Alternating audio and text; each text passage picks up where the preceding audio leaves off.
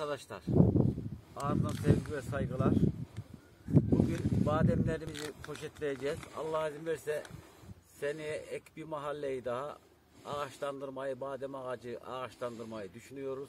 Ve şimdiden toprağımızı kat- katacağız. Artık kaç tane olursa 300-500 böyle artık toprağımızı katıp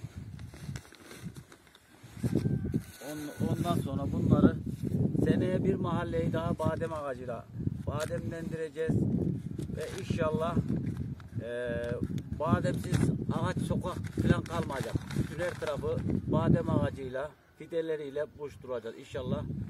Birazdan daha da tesarrufatlı olarak size göstereceğim.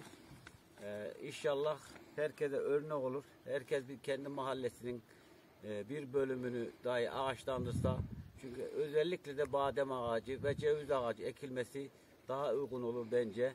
Çamlığa Katıran'da zaten dağlarımız da var. İşte böyle bir bir etkinlik yapıyoruz. İnşallah e, iyi olur inşallah.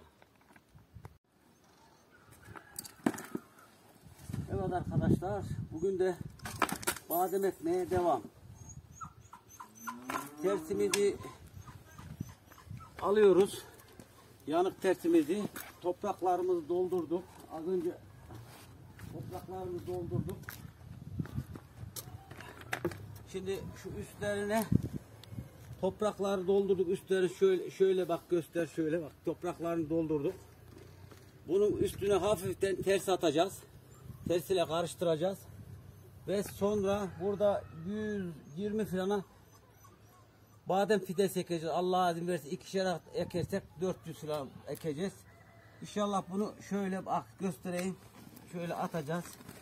Karıştıracağız böyle. Her birine güp- hayvan gübresini vereceğiz ve karıştıracağız. Bunlar böyle. İnşallah mahallenin bir seneye bunlar olur.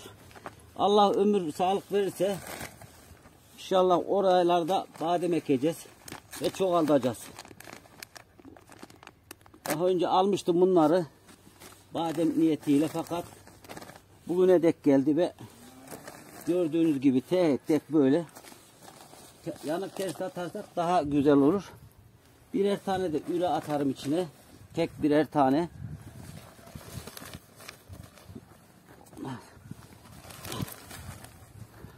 Çünkü bu böyle olmadı mı karıştırıyoruz bir toprağı ve yüzüne hafif de göstereceğim badem ekme tekniğini de size. Fazla derin ekilmez çünkü birden çıkması için. Bademleri büyük ihtimalle bir gün önceden suda ıslatacağız. Bir gün önceden suda ıslatacağız ve öyle şey yapacağız. Bademleri daha iyi olur, erken çıkar. Tam artık kışın çıktığı baharın ekme zamanı. Onu da göstereceğim size. İnşallah yetişince güzel olacak.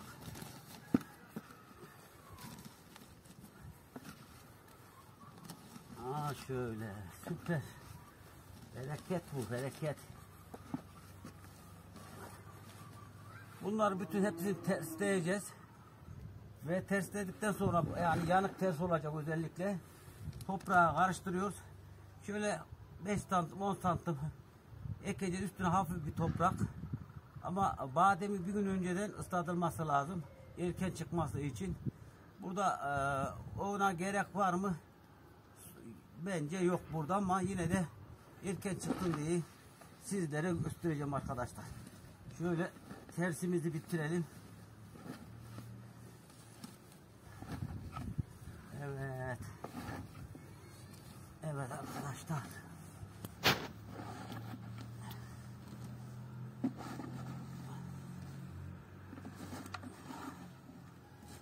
Tamam şimdilik bu kadar.